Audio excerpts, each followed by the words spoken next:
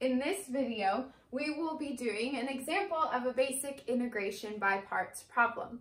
Now, the first question you should ask yourself is, how do I know that I should use integration by parts on this problem? Well, a good rule of thumb is to look at the function that we're taking the integral of. And um, whenever we have a product of two functions or maybe more, then um, using integration by parts could be helpful. And so in this function, um, we have x times the hyperbolic cosine of 5x dx. And so there we can see we have two separate functions being multiplied together. Um, and so that might be a problem that we can use integration by parts to solve.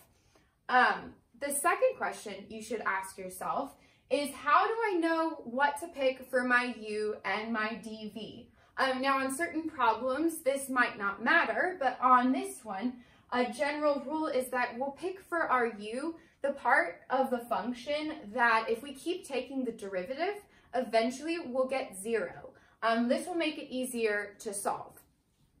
Um, so for this problem, we're taking the integral of x times the hyperbolic cosine of 5x dx.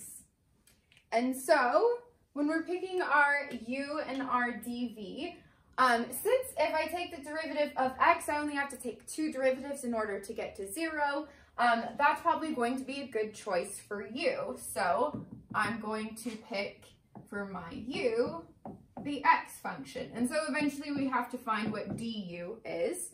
Um, we also need to find what v is, um, and from this function, our dv must be hyperbolic cosine of 5x dx.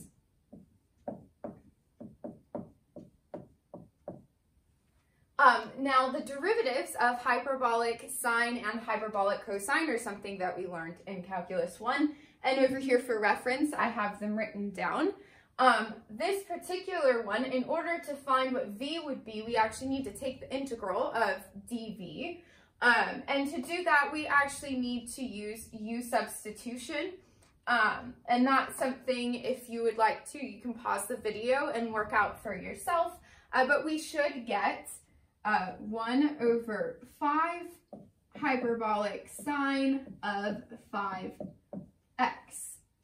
And then over here to find du, this is much more simple. We just take the derivative of x, and so we get 1 dx.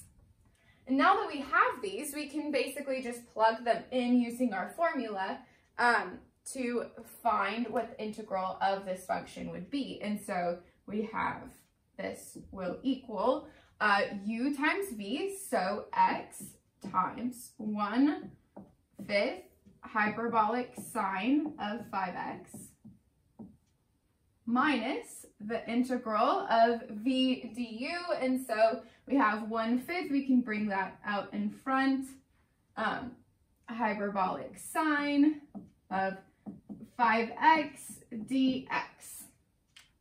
And so now we have a function over here that we can take the integral of. Um, and so that's why we're using integration by parts is it takes this mess and makes it a little more simple to solve. Um, and so again, we have, this is equal to 1 fifth x hyperbolic sine of 5x minus 1 fifth times and again, we have to use um, u substitution in order to solve this. And so um, I will work that out for this particular one. Um, and so over here, if we pick for u, we pick 5x, then du is 5 dx. Um, and so then uh, we have 1 fifth times the integral of, um, and then this is going to, if we divide both sides by 5, we get 1 fifth out in front here, hyperbolic sine of u du. And then we have plus c because we are integrating and whenever we integrate without bounds, we always have that constant.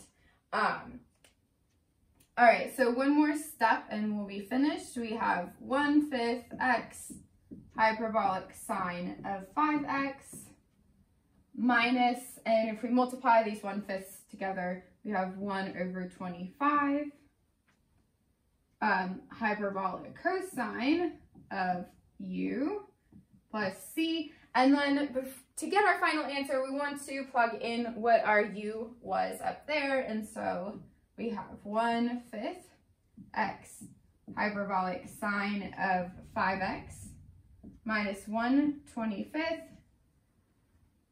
hyperbolic cosine of 5x plus c. And then that will be our answer.